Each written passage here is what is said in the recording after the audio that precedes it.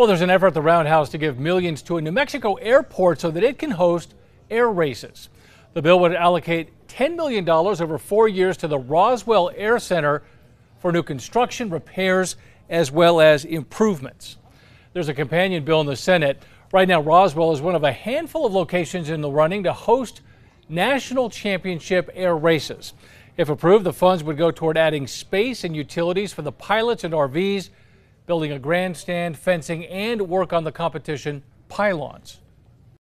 If we could go to the board and say, we have a commitment from the state of New Mexico to provide this infrastructure uh, and to actually get works commenced on the ground as soon as possible.